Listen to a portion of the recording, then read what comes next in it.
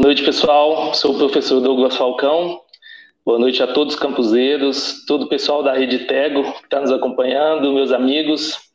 É, eu estou aqui para falar um pouco sobre home office, inovação para educação, educação e trabalho. É, a gente tem discutido muito nesses últimos tempos sobre toda a mudança que ocorreu é, com essa pandemia que nos pegou de surpresa, na verdade.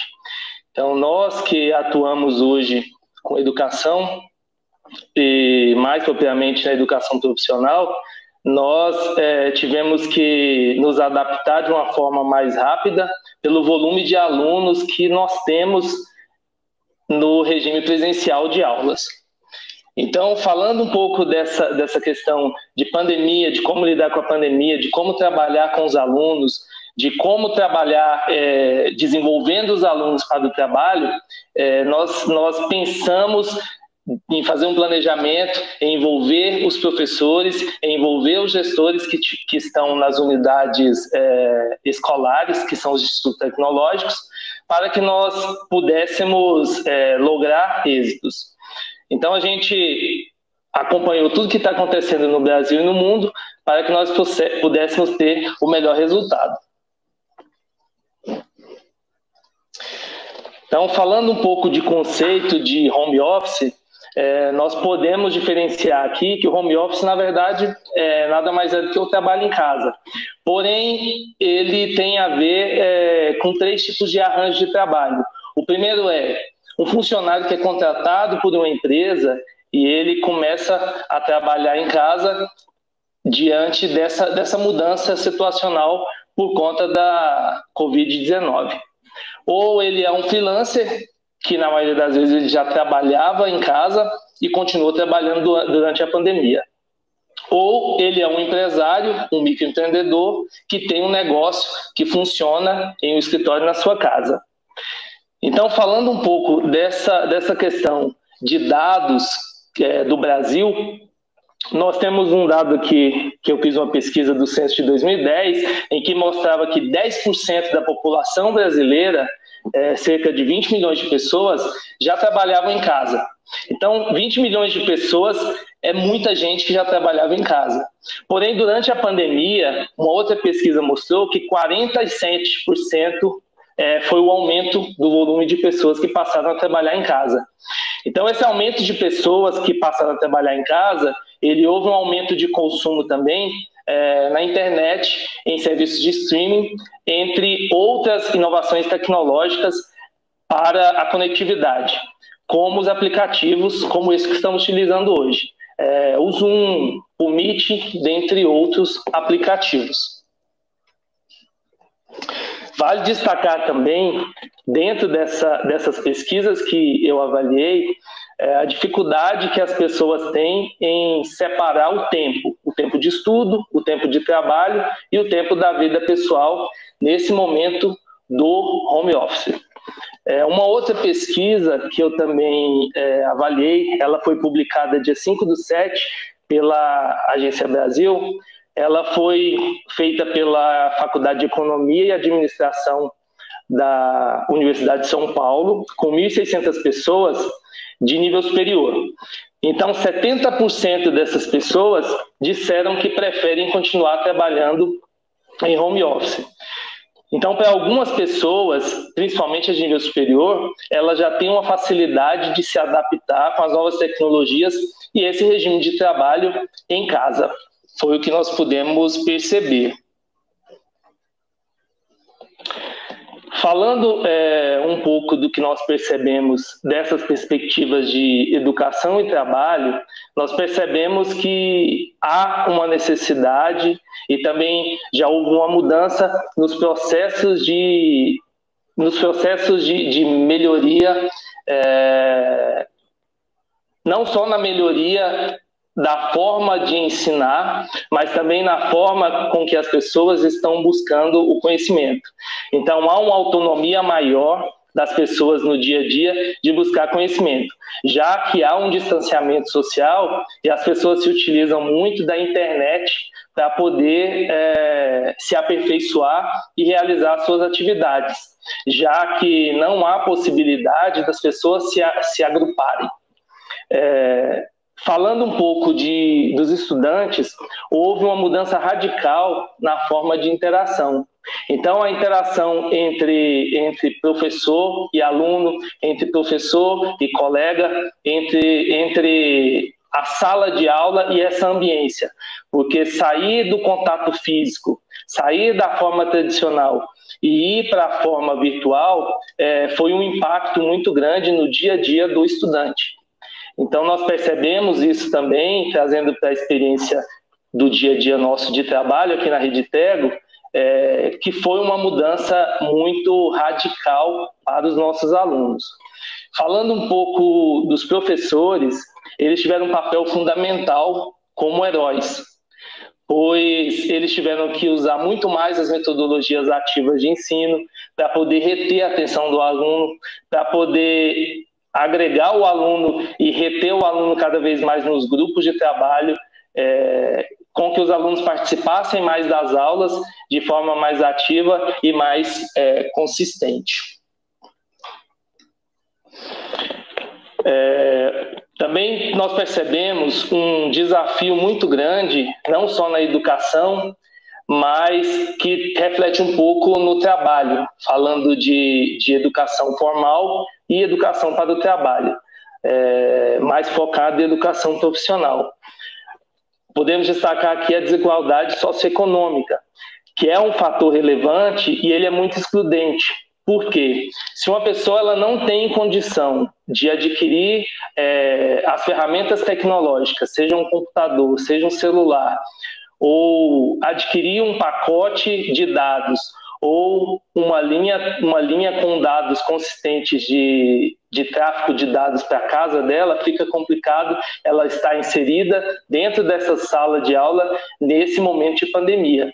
Que todos é, foram migrados, migrados para essa plataforma nesse, nesse, nesse regime especial de aulas. Então, essas plataformas digitais acabou que é, expôs um problema do país é, com a questão socioeconômica. Nós percebemos uma, uma fragilidade é, em um outro aspecto que eu separei aqui, que são as políticas, as, as políticas de inclusão social, que elas não foram tão consistentes um, em um país de tamanho continental. Então, o que eu percebi, nós tivemos relato na mídia, na grande mídia, de alunos que não tinham condição e pegavam seu celular e sentavam na porta de uma de um açougue para poder acessar a internet e estudar. Ou outras situações de um celular para cinco crianças, é, em fase escolar, fases escolares diferentes e horários de aulas, às vezes, que chocavam. Então, a gente percebe que isso é, causa um atraso, causou um atraso, causou um prejuízo na, no rendimento escolar. O outro aspecto que eu separei aqui é o preparo dos professores para esse modelo digital. Então, nem todos os professores estavam preparados. Então, foi um desafio e é um desafio para o Brasil. Então, migrar do regime tradicional de aulas dentro da sala de aula formal para a plataforma digital foi um desafio porque muitos dos nossos professores não estavam, é, de fato, preparados. Então, há uma percepção que a inovação da, da educação ela, ela é muito mais além do que ter recursos tecnológicos, do que ter conhecimento tecnológico, do que ter infraestrutura e, de fato, é, inovar nas práticas. Então, as práticas elas vão desde a formação do professor, que vai transbordar no aluno. Outro aspecto, da, falando de, de, inovação de prática pedagógica, que é percebido, é a necessidade que há de construir no, no indivíduo, no, no, aluno, agora falando, já que falamos um pouco do professor, é, construir competências no aluno é, seja no pós-pandemia ou durante a pandemia, é, construir conhecimentos, habilidades, atitudes, valores, e nós percebemos que trabalhar as competências emocionais. Eu acho que eu percebo que é o mais, é o mais foi o mais, o mais é, sensível e o que nós vimos que foi o que mais fez falta durante a pandemia. É, algumas pessoas tiveram mais dificuldade de se adaptar, outras não, mas as famílias em geral é, sentiram um impacto muito forte por conta do distanciamento, é, em como lidar com os filhos. Então, essa questão das competências emocionais, é, como lidar com a alegria, como lidar com a tristeza, como lidar com a distância, é uma outra questão que ela precisa ser olhada é, de forma global e constar no currículo escolar, seja na educação profissional ou seja na educação, na educação básica, na educação regular. Outro aspecto que, falando de inovação na questão, na questão escolar, nós percebemos que o planejamento e a organização ele deve ser pensado para o futuro. Ele deve ser pensado não para o momento que, que nós vivemos hoje, só da pandemia, mas como a educação vai estar daqui 20 anos. A pandemia ela veio e eu acredito que o Brasil evoluiu 10 anos em, em pouco tempo. Eu percebo que na nossa prática do dia a dia, na nossa rotina do dia a dia, de aplicar educação, de planejar educação, nós evoluímos muito. Mas como está isso no Brasil? Porque as, as regiões são muito distintas e têm realidades muito diferentes. Então, esse pensar ele deve abranger é, todo o Brasil, toda a dificuldade do Brasil e por regiões. Falando de Goiás especificamente, nós temos realidades distintas aqui. Então, para inovar no planejamento e nas questões educacionais, para abarcar todas as situações, nós percebemos que há uma necessidade maior de identificar melhor quem é o aluno, a necessidade do aluno, pensar melhor na matriz é, curricular, pensar melhor no núcleo é, formativo do aluno, seja na educação, na educação formal ou seja na educação regular.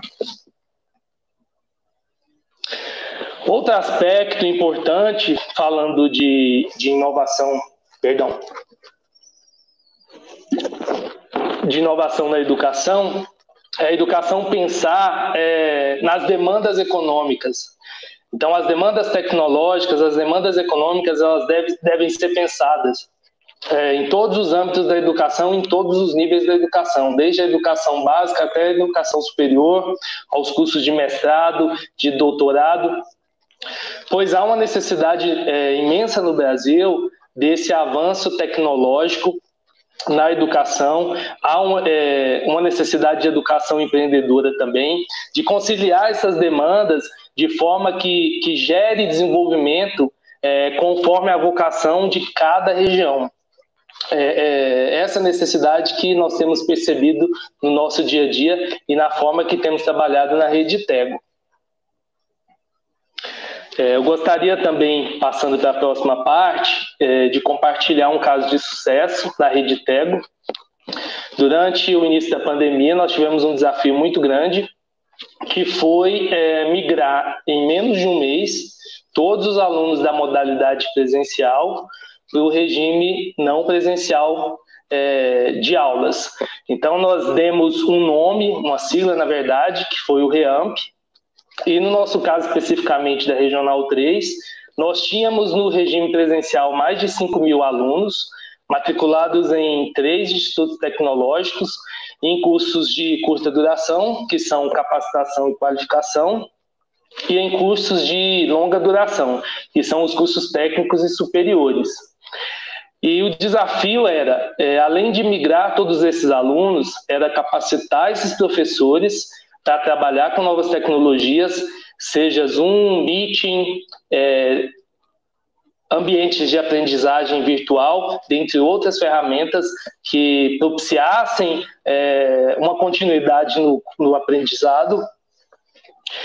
E o monitoramento contínuo. Então, foi um trabalho muito árduo, de dia, dias e noites de trabalho, e também gerar ferramentas de monitoramento, gerar ferramentas de acompanhamento, migrar todos os diários para trabalhar e acompanhar esses alunos de uma forma mais ágil e eletrônica. E na nossa regional de educação profissional, nós tínhamos um outro desafio, porque nós temos um Instituto Tecnológico em Artes, que é o ITEGO Labib Fayad. Então, temos alunos a partir de 5 anos de idade que fazem desde balé até teatro, dentre outras expressões artísticas. E durante o, todo o momento desse primeiro semestre que terminou, no, o desafio era manter esses alunos engajados, trabalhar com eles é, de uma forma integral, mantê-los é, motivados no dia a dia e também qual que era a outra dificuldade que, que nós percebíamos era como tinha, tinha um distanciamento e nós, traba, nós trabalhávamos e trabalhamos com orquestra, é, como que nós conseguiríamos, por exemplo, realizar um ensaio? E nós conseguimos, por meio das plataformas digitais, realizar até apresentações musicais. Então, esse caso de sucesso que nós tivemos aqui, graças ao empenho de toda a equipe, ele demonstra que as tecnologias e essas inovações, elas vieram para ficar, que elas funcionam. A Secretaria de Desenvolvimento e Inovação sempre nos apoiou, é, como política pública de levar esse desenvolvimento, de inovar de fato em todas as regiões de Goiás, não só na regional que estamos atuando, que temos três, três institutos tecnológicos, mas também nas outras regiões de Goiás. É, como principais pontos, acho que a gente pode destacar também é, não só a implementação de sistemas de monitoramento e avaliação, aplicação de pesquisa para poder avaliar como que foi o momento desse, o tempo desses alunos é, do, que vieram do regime presencial, do regime não presencial, qual que foi a expectativa deles, se foi atendida, se eles gostaram, se não gostaram. Nós fizemos essa pesquisa para poder avaliar e mensurar qual que foi a satisfação deles. E também nós tomamos alguns é, depoimentos de forma espontânea, por meio de vídeo, mensagens, para poder publicar em redes sociais. E aí eu separei o depoimento de duas alunas, que foi a Giane Nascimento, do Cotec de Pires do Rio, e a Ione Cavalcante, também do mesmo Cotec, do curso a arte de falar em público. Está é, tá publicado no nosso Instagram e, em suma, o relato delas foi que o curso A Arte de Falar em Público, que elas começaram a fazer no regime presencial e passaram para o regime não presencial, elas não tiveram nenhuma perca de qualidade. Pelo contrário, o curso é, propiciou a que elas tivessem mais autonomia, a que elas buscassem mais conhecimento, a que elas, é, por meio do YouTube e outras ferramentas, elas se dedicassem mais e se formassem de uma forma, ao final do curso, mais integral. Então, em linhas, em linhas gerais, o que nós percebemos é que, ao final desse processo, que finalizou no final de junho, início de julho, é que o processo funcionou, o processo dá certo e que nós percebemos que cada vez mais essas tecnologias vieram para ficar. É, passando para a última parte, eu gostaria de ver se tem alguma pergunta. Como eu estou sozinho, eu vou ver aqui no grupo, no chat, se tem alguma pergunta. Se alguém tiver alguma pergunta, pode publicar aqui. Tem alguns amigos aqui que já escreveram, obrigado. Alguém tem alguma pergunta? A Michelle escreveu ali que a migração foi feita em 15 dias. Obrigado, Michelle, por, por lembrar. Parece que não tem nenhuma pergunta. Obrigado, Michelle. É, parece que não tem nenhuma pergunta. Pessoal, então gostaria de agradecer a toda a equipe é, que nos apoiou durante todo esse tempo na construção desse, desse trabalho da Campus Party. Gostaria de agradecer a todos os voluntários que nos assistiram durante o dia de hoje para que essa palestra estivesse no ar. Gostaria de agradecer à Rede Tego, gostaria de agradecer a toda a equipe da Secretaria de Desenvolvimento e Inovação. É, muito obrigado também à equipe da Campus Party e que nós possamos continuar fazendo é, a diferença na educação, a diferença no mundo, que esse mundo é, pós-pandemia seja um mundo muito melhor. E meu muito obrigado, uma boa noite, pessoal.